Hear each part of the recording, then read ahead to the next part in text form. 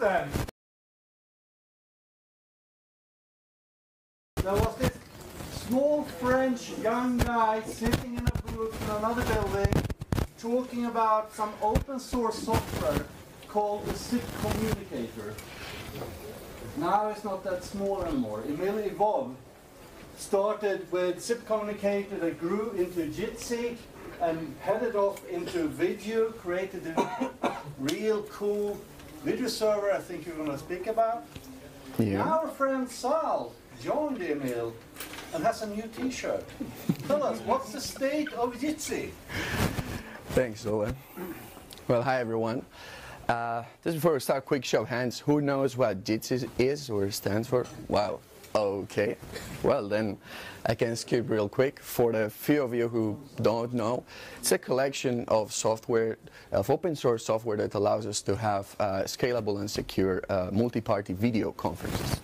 So the hallmark of this collection of projects is called Jitsi Meet, and this is how it looks like. This is our weekly, um, our daily stand-up, sorry, where we all, everyone in the team connects and shares what the hell we're doing. Uh, so as you can imagine, connecting like 12 video streams all together has certain degree of difficulty. And the idea is that we take care of that for you so you don't have to worry about it. And today I'm going to let you know how we achieve this and we're going to see how you can also do it for yourself without having to do everything from scratch. Uh, one important thing that happened is uh, my t-shirt, which is Jitsi joined Atlassian uh, roughly two years ago in 2015 and it got integrated into some of their proprietary products, of our proprietary products now. So one of which, for example, is HipChat, uh, which is a proprietary group chat application, but the video part is done uh, via the same way we do our video conferencing, so via Jitsi Meet. Uh, we also have a company-wide all-hands meeting where all the offices connect together, the founders give some updates, some presentations are shared, uh, so on and so forth. So this integration of Jitsi into Atlassian actually empowered us to basically go a little bit further, uh, scale up better, and basically build these things that maybe before we either didn't have the idea to do or necessarily all the tools. Uh, now we have these resources, these needs, and we can do that. And we can do that actually while being a fully open source project, which is a nice thing to keep. Uh, everything is uh, available as open source in the jitsi.org website. We host a bi-weekly um, community conference call where we share like what's the plan, what we're working on, and actually I'm here today to uh, basically tell you a little bit more about this. But actually doesn't stop there. So there are other companies, both for-profit and not for-profit, that are using uh, our tools to build the products. Uh, one such company is Highfive. They sell this hardware and software-based uh, video conferencing solution, and they use one of our pieces of software uh, the Jitsi Video Bridge. The Video Bridge is the entity responsible for routing the video to all participants and being the smart guy in the room which knows what kind of video has to be routed to what person depending on its bandwidth needs um, and so on. Another sort of instance of this is uh, Meet is our publicly available uh, instance. So this one you can use to host your meetings, share your desktop. Uh, it's fully functional. Uh, you can use it. It's hosted by us. Uh, and more than that, it has an external API which can be used to embed uh, Meet into your own applications without necessarily needing to host the instance yourself if you don't want to do that. Uh, one such case is Rocket Chat, which is uh, an open source uh, group chat application which added video support by embedding Jitsi Meet. So we have this uh, high-level API we call the iframe API, which allows you to customize how you want to actually see this uh, multi-party video conferencing you know, the view, the experience. You can change things around. Maybe the kind of application you have in mind doesn't necessarily need a large view here, and you want to go with just the thumbnails or the film strip as we call it. So you can customize this when you use this embedding API to make your application be, you know, multi-party video conferencing enabled. So what is sort of everything that this thing does? Uh, which you may be aware of some of the things and not some others. So Uh, we can do, we can of course do video, uh, but that video can be your desktop, so we can do desktop sharing. Uh, your conferences can be recorded or streamed to YouTube. For instance, this is how we do the company-wide all hands. We stream it to YouTube, so that way you can imagine that maybe uh, in a different scenario you're like, okay, I need a million people to join a room. Well, that might be a bit hard on your Chrome instance. So um, how about you stream it to YouTube and then you can have as many viewers as you want if they don't need to participate, for instance. Or you can watch the recording later as well. Uh, it's fully anonymous as well if you want to, so you don't need to basically sign up or put any data out. You just go for it, use it, and that's it. There's an integrated chat in it. Uh, we can do collaborative document uh, editing with Etherpad. Uh, there's a calendar invitations uh, plugin, which I'm going to show you. This basically allows you, if you're using uh, Google Calendar, for instance, you can schedule a meeting and really quickly create a, a Jitsi meeting room so that that's where the meeting would kind of virtually take place. Uh, we can invite other participants, but just sharing the URL so you can share it via email or whatever other means. Um, and I left it kind of to well, two important ones for last, let's say. So simulcast is the ability to forward just the specifically relevant video to each participant. So in the image we saw before with 12 people, you can imagine that we cannot handle, like, well, not cannot, but your bandwidth cannot handle uh, 12 to 15, let's say, full HD video streams. So what do we do? Well, it turns out that each participant will send uh, three or two or three different resolutions and we'll just pick the appropriate one to forward to you.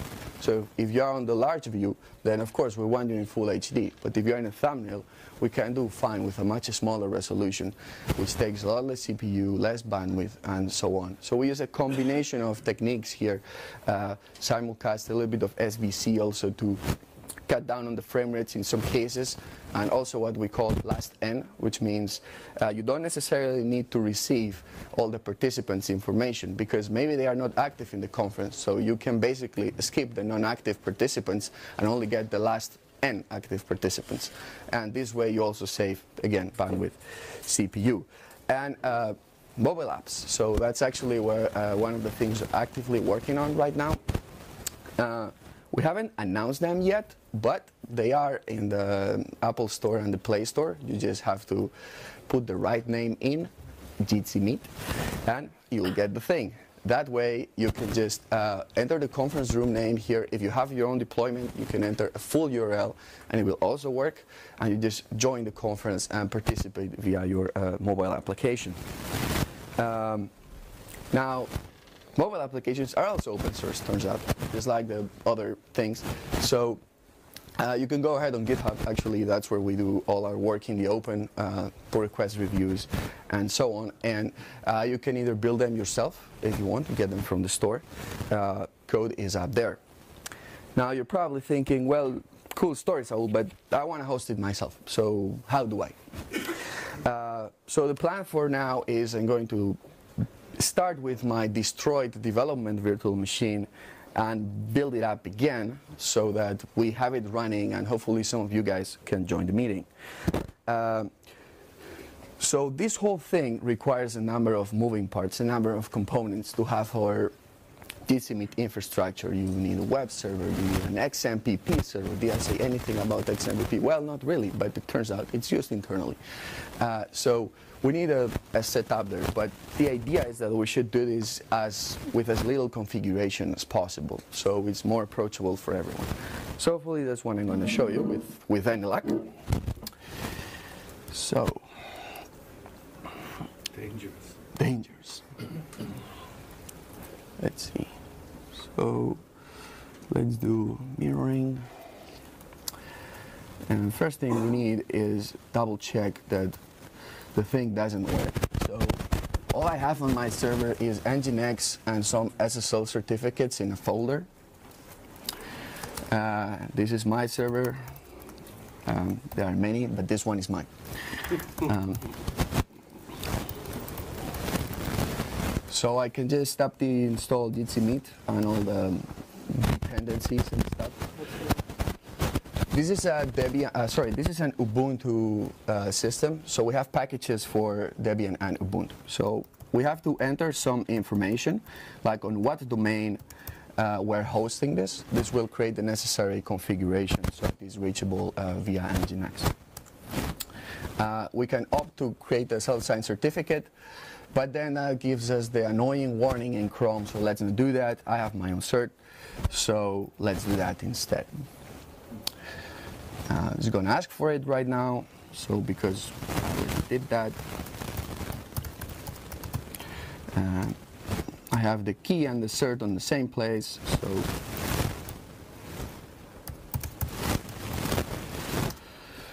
we install it and uh, we should be off to the races.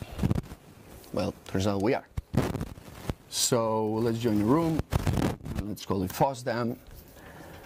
Uh, can anyone in the room with a laptop join me here? Ulen, Iñaki, Jose. Hello? Something went wrong. but they are trying to fix it, so it's okay. Whoever they are. Uh, what the hell? Okay. So we got another fellow Jitsier here which joined and I don't know, another guy doesn't want to show their face. So this is the main uh, Jitsi Meet interface. Um, okay. Going overboard here. Let's see how, how the Wi-Fi holds. So what can we do from here? Well, so if you're collaborating with multiple people, you may want to, you know, take turns and like raise your hand and stuff when you, when you want to do something. Here we can share it to YouTube if we have an API key. We have an embedded chat, like we can choose a nickname here and say boo. Uh, and then, you know, we can have a, a chat real quick here. So it's 12 participants here. all right. So this is basically all happening um, on a server in Ireland. It's the forwarding happening, and here for each participant we have uh, we have some information which we can hover on. So we're not receiving him. Uh, you see how we're just receiving a tiny little thumbnail, uh, 180p, nothing really, nothing really big. So this is happening all in the WebRTC domain, but sometimes you just gotta you just gotta go for the PSTN, you know, good old landlines and stuff. So we also have um, a gateway in the past, uh, which is called Jigasi. It stands for Jitsi Gateway for SIP. And that way we can actually uh, join via SIP. So we need to configure a SIP address. Uh, that is the one uh, which is going to receive incoming calls. So I have like a SIP address from a French uh, operator of everyone. And let's see. There's a default room configured, so I'm gonna exit this FOSDEM thing and I'm gonna enter my SIP test room. So my microphone is back. Why? Oh, to hell.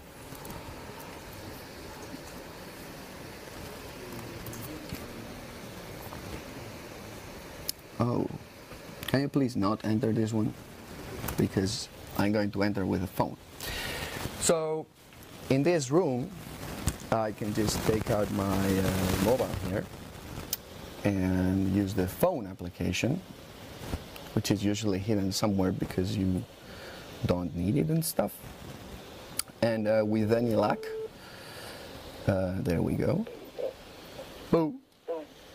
So we are in via the mobile phone in this WebRTC multi-party conference. Uh, if somebody joins, the audio is also bridged. So everybody, basically, what Jigasi will do is receive all the audio for every participant, mix it in, so we have it in here. So this way, we can really easily uh, branch out to either old SIP, uh, legacy SIP devices, uh, even the PSTN, whatever, uh, and you can use it. It, um, like that I, old IBM ad said, it connects anything to everything. So, uh, that worked, that's cool.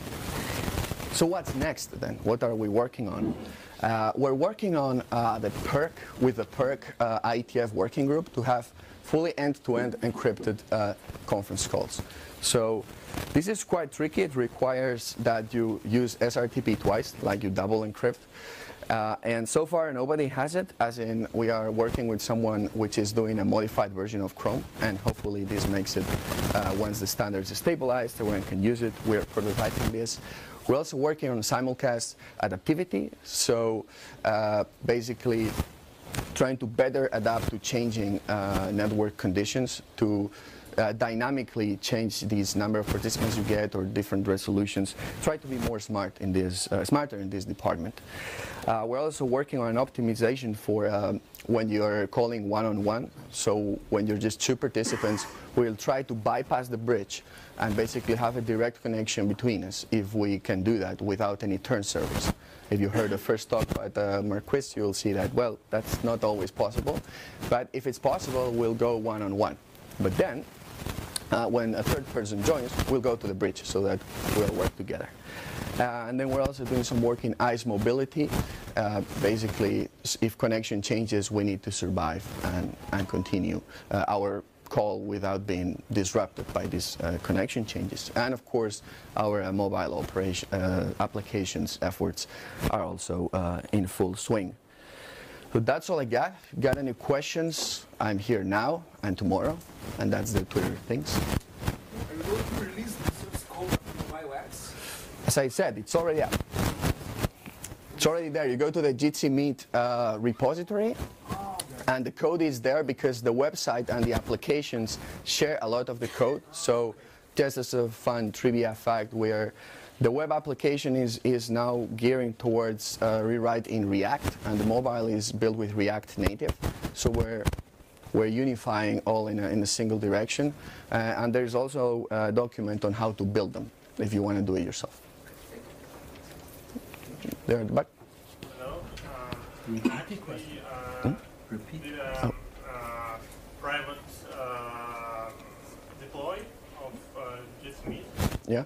and uh, oh, it has three components. I, I installed manually, not, not And uh, the thing is, it's quite hard to um, upgrade.